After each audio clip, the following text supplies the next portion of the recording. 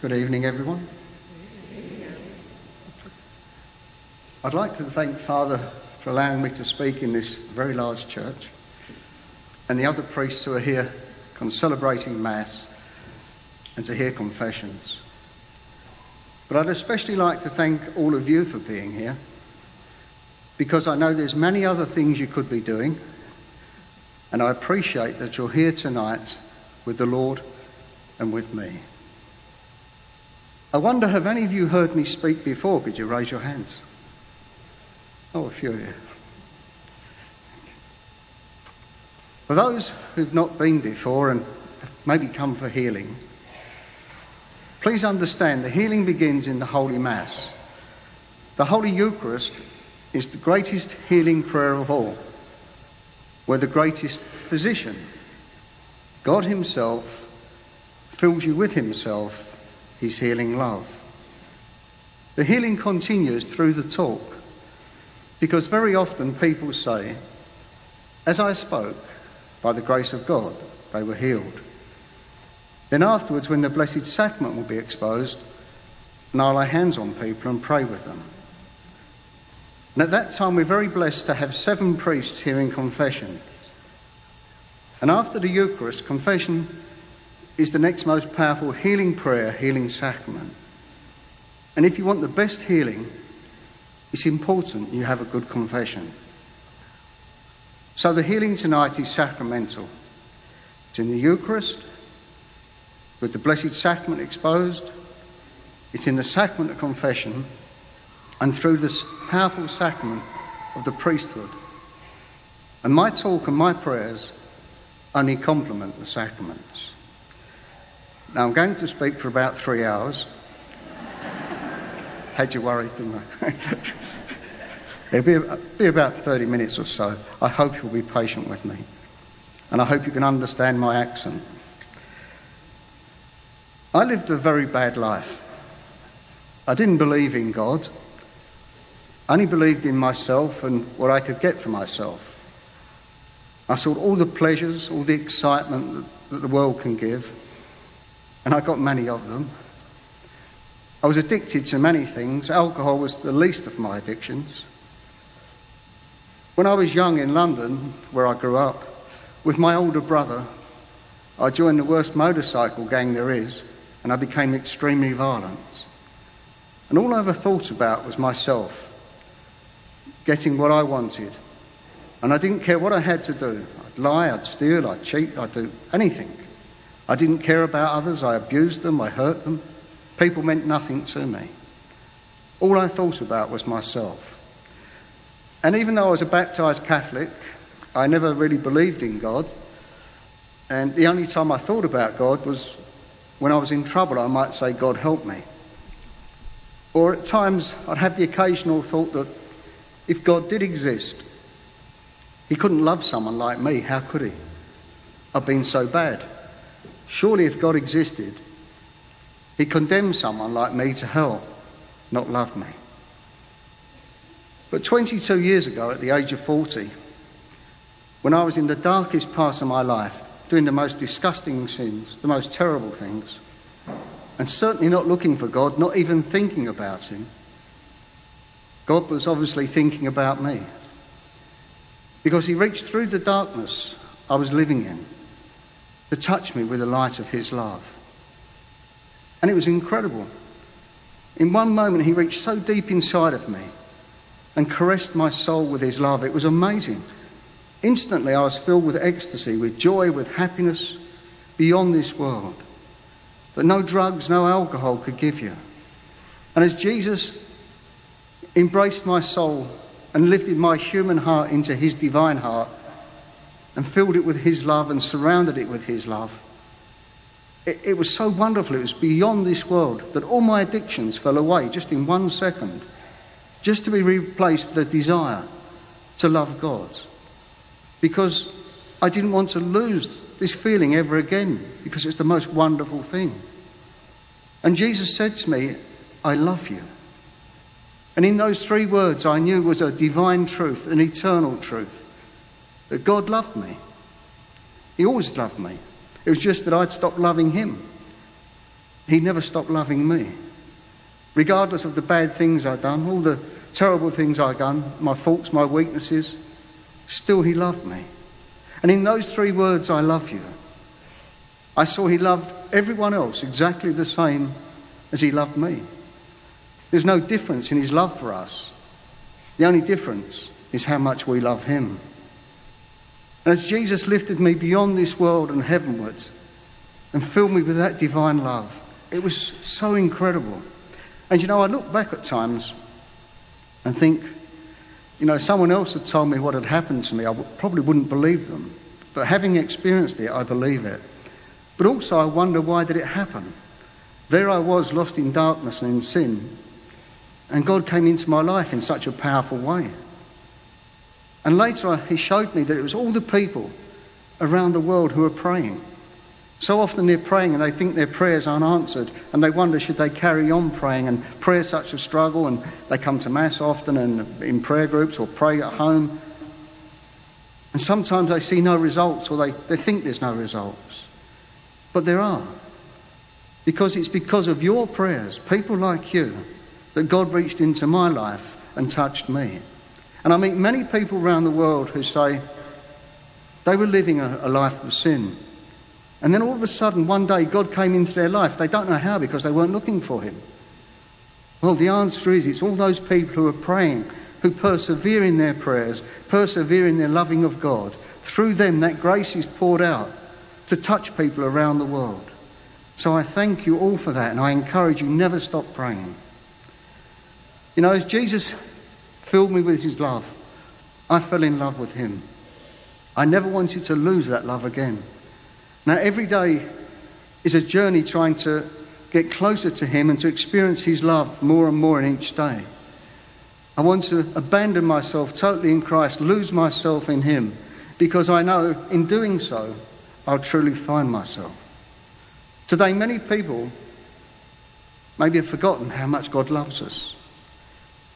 They see God sometimes as distant, as far away, as judgmental, as condemning. Some people fear God, but there's nothing to fear in God. He's tender, He's kind, He's merciful, He's loving, He's forgiving. The only fear I have in life now is that I might stop loving God. I never want that to happen. But God's not distant, He's not far away. Jesus is beside us every moment of our life. In every moment, He's reaching out to us in love. He's crying out, I love you. He has a passionate love for each person. He aches with love for each one of us. To him, every person, no matter who they are, is a treasure, is a jewel, is precious. Jesus is actually in love with every one of us. And just like when you're in love with someone, you want them to have a good and a happy life, and you'll do all you can to help them to be happy. In the same way, Jesus, who's in love with us, he wants us to have a good and a happy life. And He offers us all that's good, all the grace, all the gifts, all the love we need so we can have that life. In every moment, Jesus is crying out to every person, I love you. Love me. And he aches, he hungers, he thirsts, he longs for our love. Not because that will make him any greater, that's impossible. God is great in himself. But because it will make you greater. Because when you love God as you should, putting the Father, Son, and Holy Spirit before all others, before all else, before even yourself, you push the world and self aside. And your heart and soul are completely open to God as they should be. And now, with that open heart, open soul, you're inviting Jesus within. And He waits for that invitation. And then He'll reach into you and fill you with grace, with gifts, with love in abundance. And He'll elevate you, He'll lift you heavenward, He'll sanctify you, He'll make you holy in Him, because that's what He wants to do. He wants every one of you to be holy people, to be the saints of today. In every moment, Jesus is crying out, I love you, love me. And yet today, so many people refuse to love Jesus, even those who come to Mass, even those who pray in prayer groups. They won't love Jesus completely as they should because they put the world and self before God. And when you do that, you place barriers on your heart and soul between you and God. So you can't experience Jesus in every day, in every moment as you're meant to. You're meant to live in Him in every second, for Him, through Him, and with Him. But if you put the world and self first, that's impossible. Because when you focus on self, you close your heart to God, you turn away from Him. In every moment, Jesus is crying out, I love you. Love me. And he cries out, Why won't you love me? Why do you turn away from me? What have I done to hurt you? What have I done to offend you? I love you so much, I gave my life for you. I carried all of your pain, all of your hurts, all of your suffering on the cross with me. I suffered and died for you individually because I love every one of you. And in my resurrection, I open the doors of heaven to everyone so that you can all have eternal joy, eternal peace, and happiness with the Father, Son, and Holy Spirit. And he wonders why that's not enough. That offer is the greatest offer you can get. But for many people, they see that as a small offer and they look for the things of the world, try to have heaven on earth, chase the things of the world instead of chasing the things of heaven. And look at the world. I mean, it's gone completely mad. I mean, it really has. And you want the things of the world? How foolish are we? We're like a ship of fools. We're just lost, chasing after these things that are of little value. When what's of true value is there with us in every second, but we tend to ignore it, close our hearts, our souls, our lives to the Father, Son, and Holy Spirit. In every moment, Jesus is there crying out, I love you. Love me. Let me love you. Let me embrace you with my love. Because that's the best thing you can do in your life. And that's what Jesus wants for you the best. Now, he knows it's a struggle. He knows it's not easy to live your faith because there are many temptations, many distractions in the world. And we're all full of, all of us, every one of us, is full of, we've got failings, we've got weaknesses. We can be so easily distracted, drawn away from Jesus. He knows it's difficult for you. But He doesn't expect you to do it by yourself. Jesus sent you a helper. You know, the apostles who walked with Jesus, they saw him, they touched him, they heard his holy word, they saw the miracles, they felt the power of his love. And yet one betrayed him. In his passion, others denied him and abandoned him. It was only after his death and resurrection, then at Pentecost, when the Holy Spirit came upon them, and they were filled with the Holy Spirit, that they knew the fullness of God in Jesus Christ. And they found the grace, the strength, the passion, the love to live and die for Him. And they gave us the church we have today by His grace. And if it was like that for the apostles who were with Jesus, then it's like that for us. We've got our faults, we've got our weaknesses. We betray Jesus just like Judas did. Every time we sin, every time we sin and come to Mass, we're betraying Jesus, we're denying Him. We're still coming to Him just as Jesus was with Him, um, Judas was with Him, but Judas betrayed Him. We betray Him. We have our weaknesses, our failures. We can't live our faith in the way we should. So it's important that we ask the Holy Spirit, who Jesus has sent us as a helper, every day to help us. And we'll get the same grace, the same gifts, the same power and passion of love for God and for others that the apostles got from the Holy Spirit if we ask for it, if we truly want it, and open our hearts and souls and truly live in it. We need to make every day our Pentecost. Not just once a year when we come to church, but every day should be our Pentecost. My first prayer every morning is to the Holy Spirit, asking the Holy Spirit to help me offer every thought I have, every word I speak, every action I do, every breath I take, every heartbeat.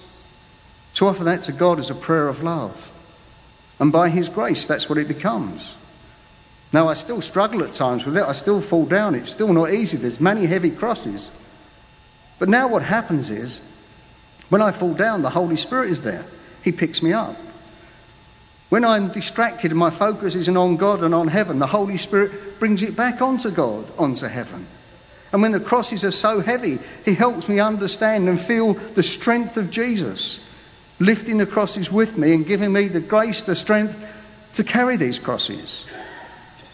In every moment, there is the Holy Spirit, the helper that Jesus sent, the Father sent, the Holy Spirit who came willingly to share His grace, His love, His power, His passion with every one of you. But He just wants you to ask for it, to accept it, and to live in it and for it and with it. And then you'll find that your faith will still be a struggle. It's still not easy. It wasn't easy for Jesus. It won't be easy for us, but we'll find that we can persevere, that we can endure. We'll have the strength to carry on loving God no matter what happens to us in our lives. You know, recently I was just hearing a, last week, I think it was, in, the, in Syria where such terrible things are happening. Two young boys, Catholics. The, uh, the Islamists got hold of them and they said to them, Convert to Islam or we'll crucify you. These boys were 10 years old and 12 years old. They refused and they were crucified. Now I wondered, would I have that strength for these young boys? And I wonder, would any of us here today have that strength? They had that strength because they loved God, they loved Jesus, and they were completely open to the Holy Spirit who gave them that strength to imitate Jesus in his death and to be resurrected then in him in heaven for etern- in eternal glory. And if we turn to the Holy Spirit, we can have that strength that a 10 year old and a 12 year old boy had. We just have to want it, we have to seek it. You know, there's a, a time when I was really struggling.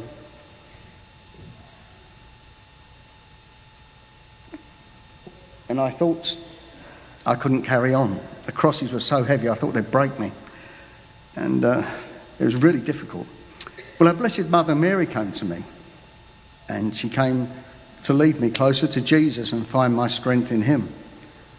She said, uh, you have, you know, come to the Holy Mass because it's here you'll find Jesus, you'll find God, and you'll find His strength.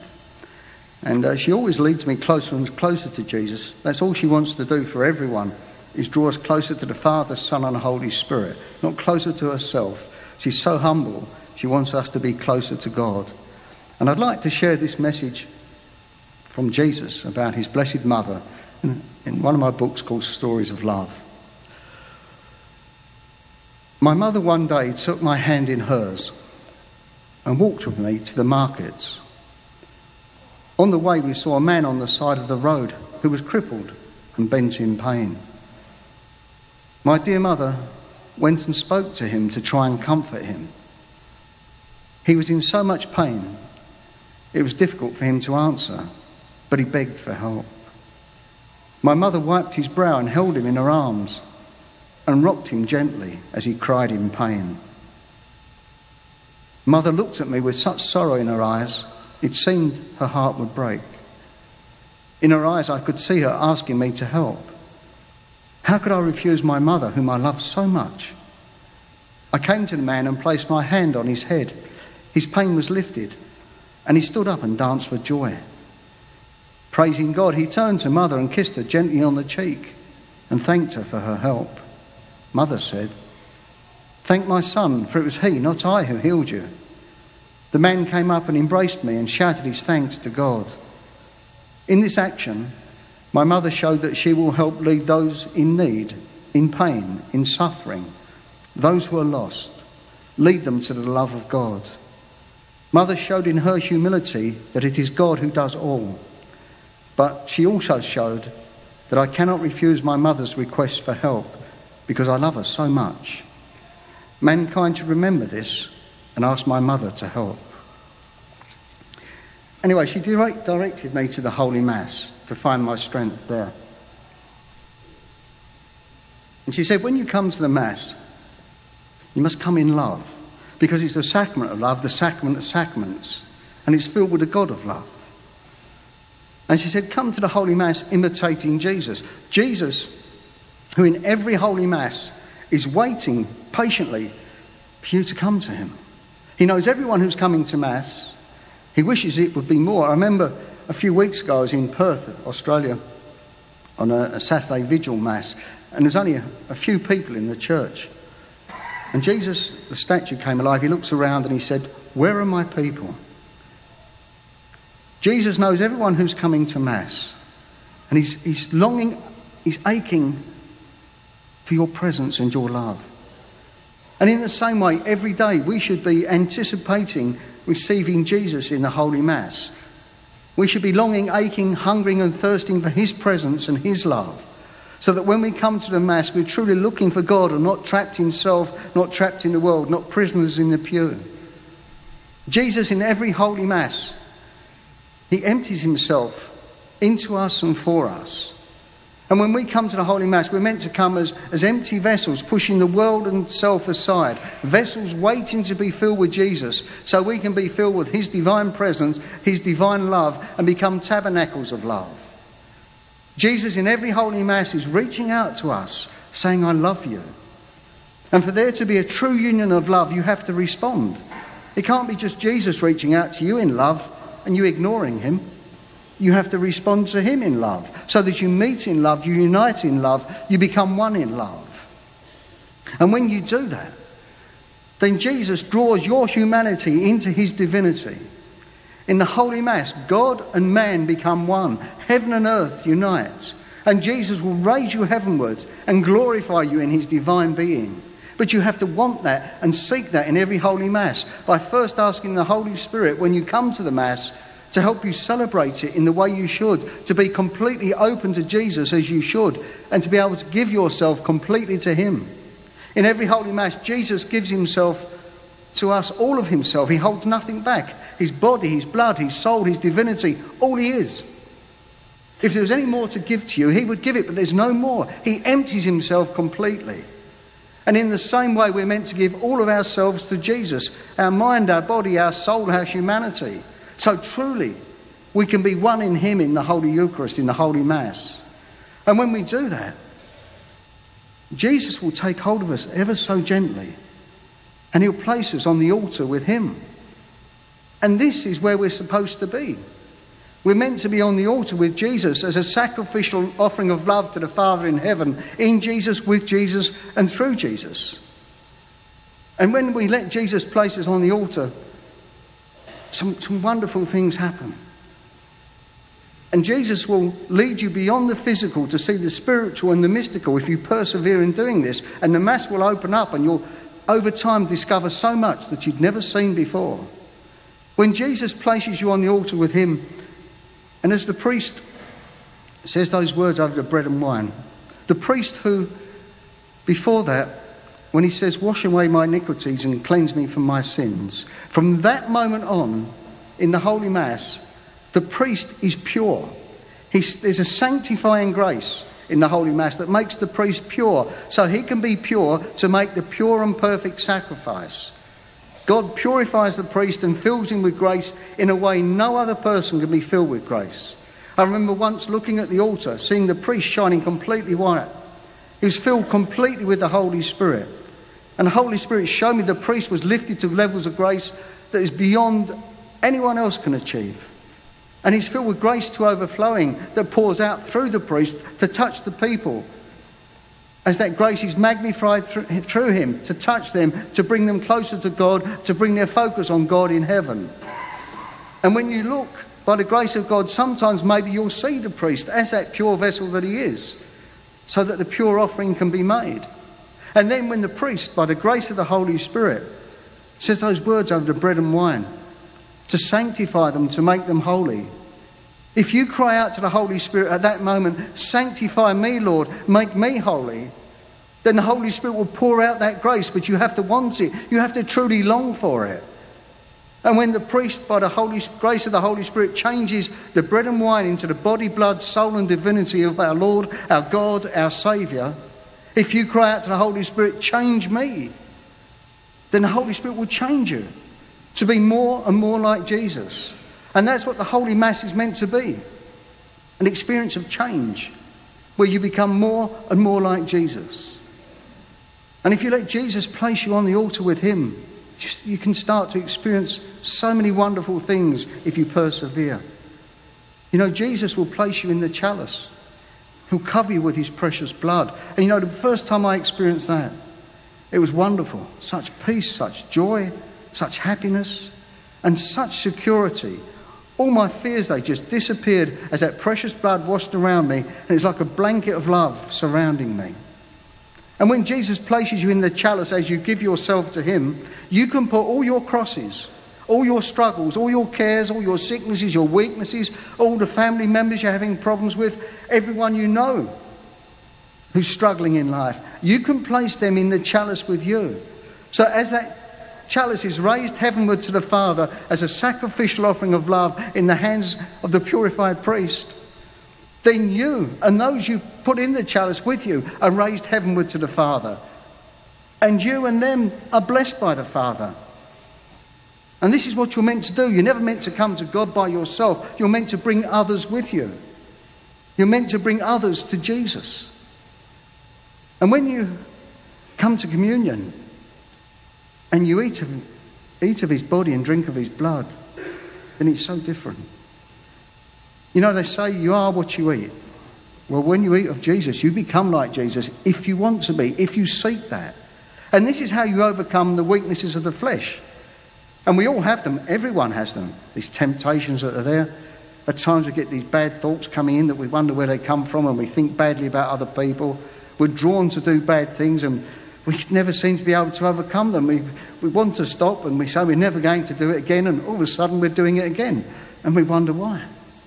But this is how we overcome the weaknesses of the flesh. Because when you eat of the flesh of Christ, your flesh and his flesh becomes one. He sanctifies your flesh. He makes your flesh holy. He gives you the strength to overcome those weaknesses if you want it, if you seek it, if you hold on to it. And as you drink of his precious blood, as that blood flows through your veins and arteries, as it washes through your body, it sanctifies your body.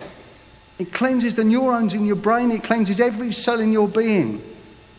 And still, when you'll still get those bad thoughts coming into you because that's what the evil one does. He puts all these thoughts into your mind to try, to try to distract you. But what you'll find then is that God will be there reaching out to you, trying to lead you away from those thoughts, and you have to play your part.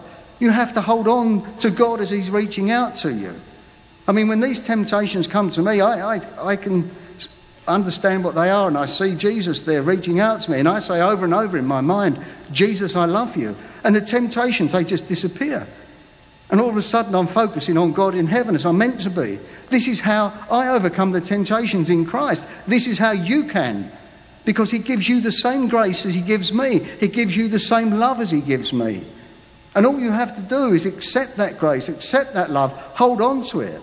So when those bad thoughts come or when the temptations get hold of you, let the thoughts of Christ, let the thoughts of the Father and the Holy Spirit fill your mind, fill your body, so that you're drawn away from them.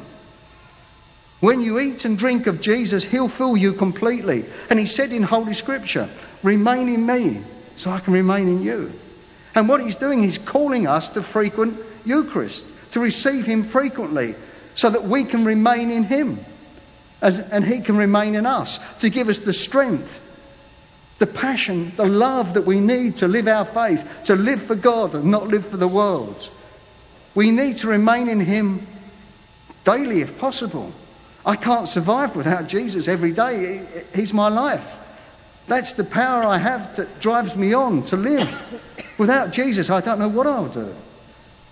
I have to remain in Him every day because remaining in Him is so wonderful.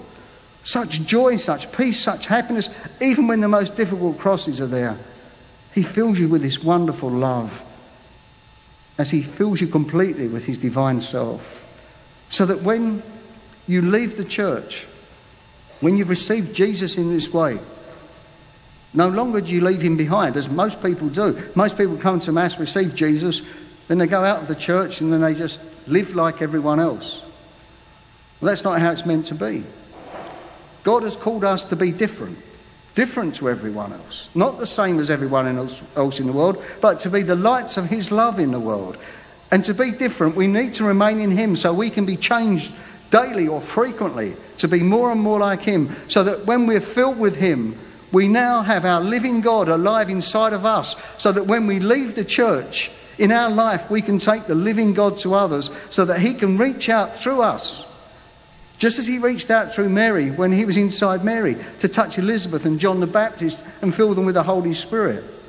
Now, when we have Jesus alive inside of us, our Eucharistic Lord living inside of us as we embrace him in our love and he embraces us in his love, then he'll reach out through us to touch others, to bless them, to heal them, just as he did through Mary. But you have to want that. You have to seek that. Sadly, so many Catholics don't because, so many Christians don't because they're distracted by the world and thoughts of self. And today we all complain about how bad the world is and why aren't so many people come to church. We blame everyone else and we forget to look at ourselves. The reason is us because we're not living our faith. We're not sharing Jesus and his divine, tender, gentle, forgiving, and merciful love with everyone as we're meant to. When you live in the Eucharist, you know you have to do this. And you take that living God, the God of love, Jesus Christ, with the Father and the Holy Spirit to everyone you meet, and through you, God will change the world. People say, oh, I can't change the world, I'm one person. In yourself, you can't. But in Christ our Lord, you can change the world. You just have to trust and believe in Him and let Him work through you. Now, with that, I'm going to share just two little things before we go on to the healing part.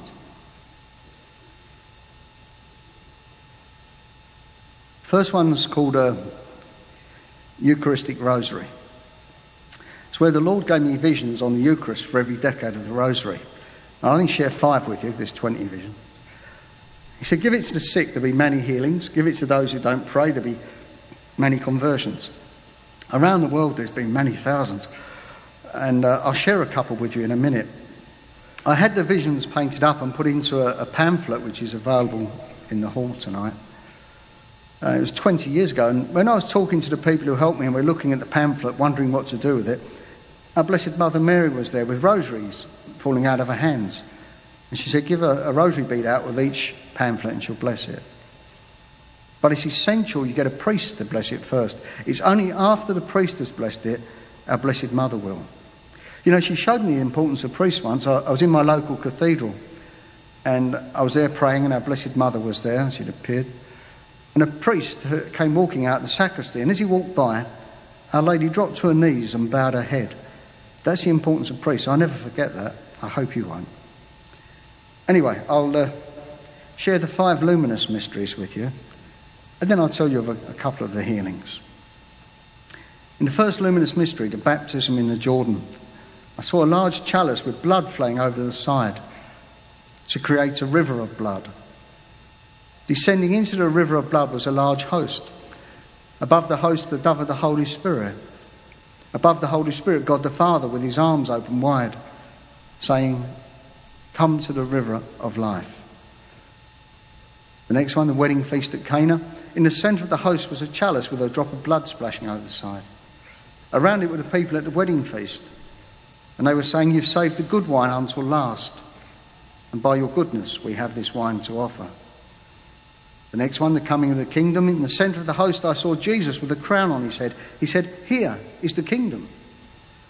the next one, in the center, the transfiguration, in the center of the host was the face of Jesus, shining so white I could hardly look at it. And he said, Be changed in me. And in the last one, Jesus was in a Catholic Church at the altar, dressed in the purple robes of a priest. Around him were the apostles. In one hand, he had the host, in the other, the chalice he said, This is my body, this is my blood, the new covenant.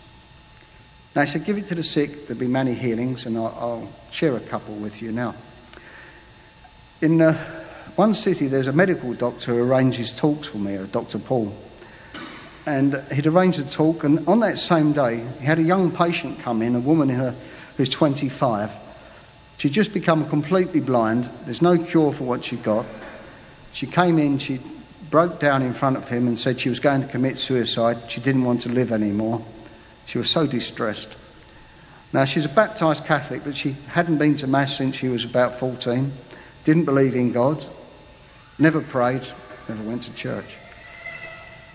Dr. Paul said to Look, why don't you come along to a talk tonight I've arranged for a man called Alan Ames? Sometimes God heals people through him.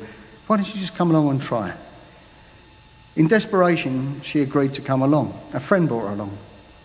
She experienced nothing through the talk, nothing through the healing prayers. On the way out, she got a Eucharistic rosary. Her friend got it. When they got home, the friend said, Shall we pray this together? They prayed it, experienced nothing. The blind woman went to bed. She put the beads and the pamphlet under her pillow. The next morning, when she woke up, She could see normally. She couldn't believe it. She rushed back to Dr. Paul. He examined her, said it's a miracle. He sent her to the major eye hospital. They examined her, they couldn't believe it. They said, This is never cured. He said, What did you do? She said, Well, I prayed the rosary. Well, they laughed at her, but they couldn't explain what happened. Now she goes to Mass every day and prays the rosary every day, and I thank God for that. There was a, another woman recently who was addicted to smoking things, not just cigarettes, but other things as well. She was a baptised Catholic, but again, she never went to Mass. She had a, a, statue of Mary at home that her mother had given her, and a rosary bead she got, I think, from her mum. But she hadn't been to Mass for years. She went at Christmas, that was about it. And the only time she prayed a rosary was when she was in trouble. She might say a decade of the rosary, maybe once a month or something.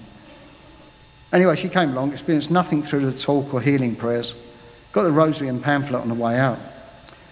When she got home, she sat in front of the statue of Mary and began to pray the rosary. And she said that the statue began to shine white. So she called her husband and children in and said, Look at this. They came rushing in. They saw the statue shining white. They all dropped to their knees and began to pray the rosary together. And now they go to Mass together every day as well, or frequently. And the woman was completely healed of all her addictions. And I thank God for that. So give it to the sick. Give it to those who don't pray. Pray it with them if you can. If not, just leave it with them Tell them it's from Jesus, blessed by Our Lady. See what happens by the grace of God. Now, last but not least, I'd like to share from my favourite book called Through the Eyes of Jesus. I'll just share a couple of minutes with you. Uh, this is uh, where Jesus showed me his life as he walked the Holy Land. Conversations between him and the apostles, events that happened. It's a book that will make you laugh and cry really is a book of conversion. We've had Muslims, Jews, Hindus, many, many young people converted reading this. Just recently in Perth, where I am, a, a Hindu woman told me someone gave her this book. She read it from cover to cover. She couldn't stop laughing and crying. She fell in love with Jesus. She gave it to her husband, a Hindu. Same thing happened to him. Now they're in the RCIA program. They become Catholics at Easter and in the cathedral every day for Mass. And they just in love with Jesus. And thank God for that. When it was first published in English, it was given the imprimatur of an English speaking bishop. About three years ago, it's published in Arabic. And the Latin Patriarch of Jerusalem gave it his imprimatur, which is an extremely rare blessing. Anyway, I'd like to share this little bit with you. And this is Jesus. James turned to me as the song finished and asked, Lord, will you tell us more about heaven? There was complete silence as everyone looked at me expectantly. Heaven, I said, is when my Father sits on his throne and where I will sit at his right hand when I return home. The only sound that could be heard as I paused was the crackling of the fire. I continued. Heaven is where eternal peace, eternal joy, and eternal love reign supreme. Heaven is where all those who have lived their lives in the love of God and service to God will find their eternal rewards. Heaven is where all are welcome and none are refused if they've lived as they should. Heaven is the most glorious reflection of God's love, for it's where that love resides. Heaven, whose doors will be open to all by the key of sacrificial love that God offers to Himself. My followers were listening intently to every word and now, as I remained silent for a moment to let these words sink in, my followers looked at peace. Heaven, how can I compare it for you?